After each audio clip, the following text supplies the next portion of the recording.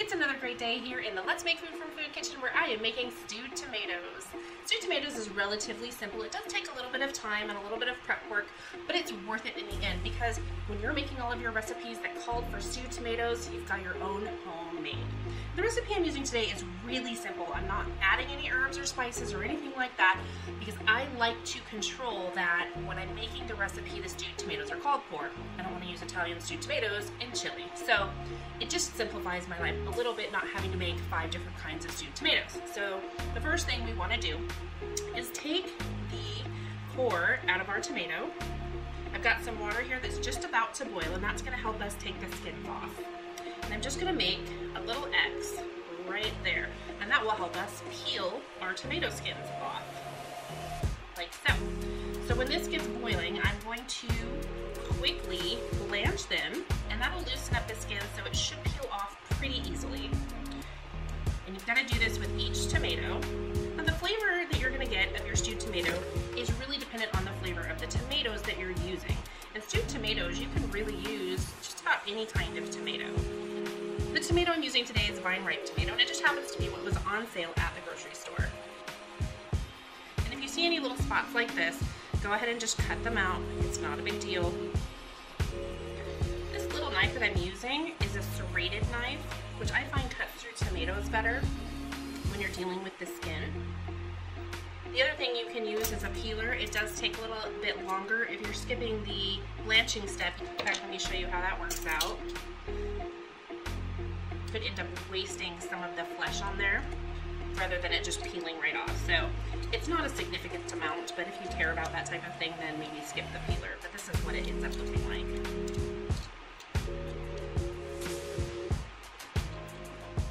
Alright, all of my tomatoes are prepped for the blanching process. I'm just going to clear a few things off my cutting board while I wait for that to finish. The other thing you'll notice I have is a bowl of water. This is cold water that we want to take the blanched tomatoes and put it right in because we don't want it to continue cooking. The other thing you'll need to have ready to go is some quart or pint jars. You'll need to have them sterilized in warm soapy water. You can also dip them in hot water from your pot, but not boiling. You might break the glass. So have those ready to go because that's what your end product is going into water's about boiling here, so I am going to drop some in, and I'm not going to crowd my pot. I just want enough for what I would consider one layer in there. We're going to get those sitting for a minute. And I don't have my timer handy, so I'm just going to watch my watch. 30 to 60 seconds. If they're bigger tomatoes, I always do 60. That's perfect. That's exactly what you want. Oops, that one went too long. The skin's coming off by itself. Here we go. This just really makes that peeling skin off process a lot faster. There we go, we get those cooled off. I'll put these in. I'm gonna let those go for 60 seconds. In the meantime, I'm gonna show you what we've accomplished. So if you just look, it just comes right off. It makes peeling these tomatoes so quick and easy, which is my preferred way to peel tomatoes. Is anybody growing their own tomatoes this year?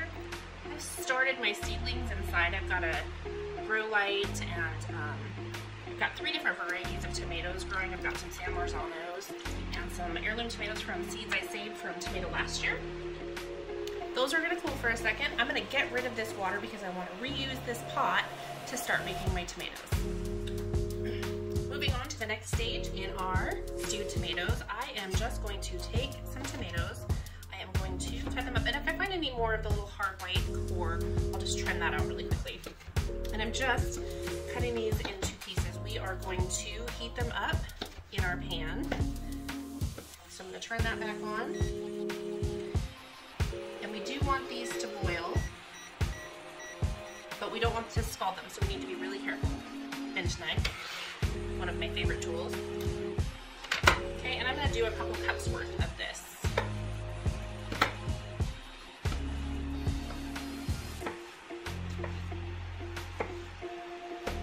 Already hear them sizzling in the pan.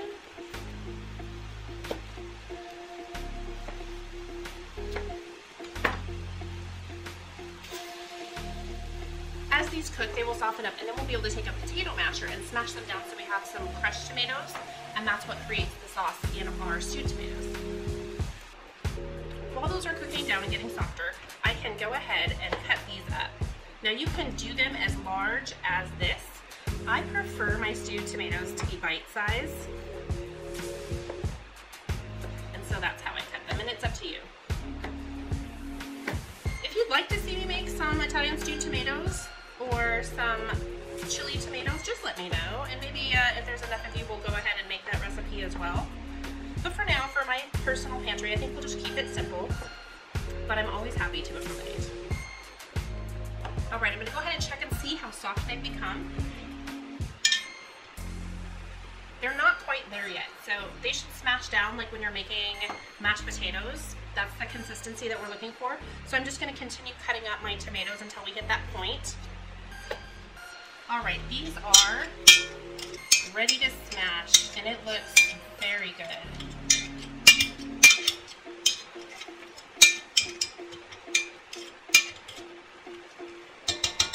And if you don't have a large pot, that's okay. You can do this in batches. I'm gonna go ahead and add this in.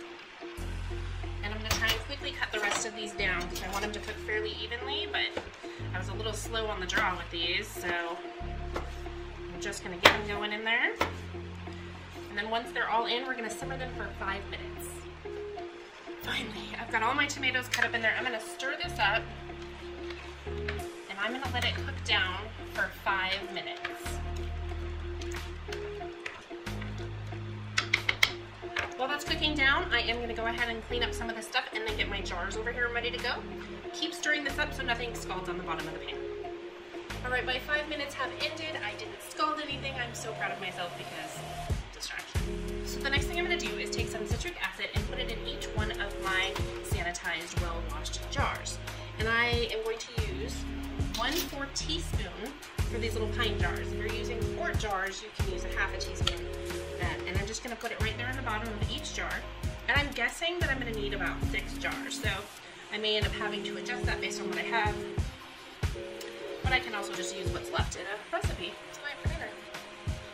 So that's done. Get that out of there. Don't want to overdo it. There we go. So you can use fresh squeezed lemon juice as well. Just use the same amount. Um, make sure that you squeeze it all out into a container and then carefully measure it. And the lemon juice and the citric acid, they serve as a preserving agent. It keeps them from spoiling and it lasts longer on your shelf. So that's done. I have a colander because I can be messy. And I am going to spoon this in here. I'm gonna try and spread out the liquid versus these two tomatoes evenly between the jars. I don't know how well I'm gonna do with that, but I'm gonna try. And you wanna give a generous fourth inch on the top. So this on a hot hot jar on a cold counter. Okay, so that's about how much you want left. And we're just gonna repeat that process until all of our jars are filled. While I'm doing this, I have a large pot of water boiling. This pot is what we're going to use to give our warm water bath to seal these jars.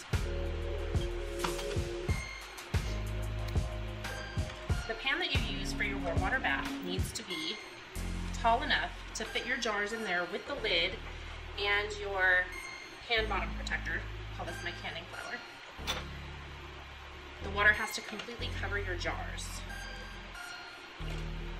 So that's going to come to a boil as we fill these up, and we'll be ready for our final step. So the next thing I want to do is take my lids. These are the canning lids, and these are unused. You can't use ones that have already been used for canning. It has this material on there that heats up and seals. It's like a suction. So then we take our rings and we want to finger tighten them down.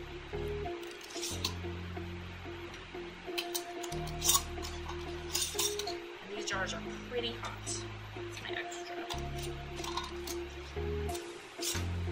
There we go. So those are all finger tightened down. This water is almost boiling. I'm gonna go ahead and place this in there. Sometimes it undoes or you have it closed back up, so I'm gonna have to use my tongs to spread it back out. Um, and this is just gonna protect the bottom of my jars. I might have to hold this down while I, I haven't used it in this pot before, it expands.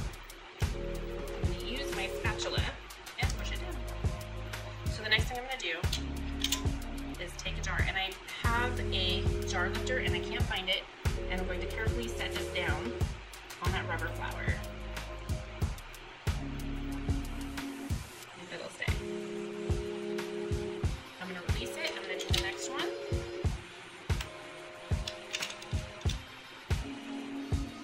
Alright, we've got all four jars in our pot. We're gonna let it boil. That'll take a few minutes, so while that's working, um, you can take your tomato scraps if you compost. Obviously, you can compost that.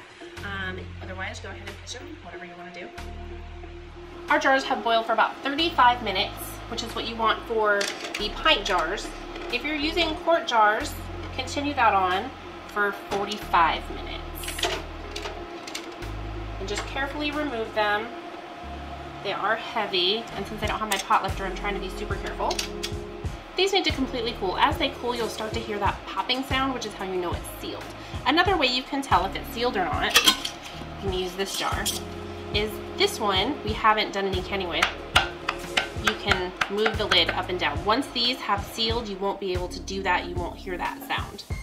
Once this is cooled off, I'm gonna go ahead and take my Sharpie. I'm gonna write directly on the lid what the contents are, and then I'm gonna put them in my pantry.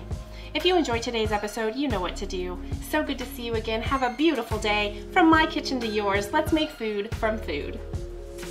That's one bored puppy.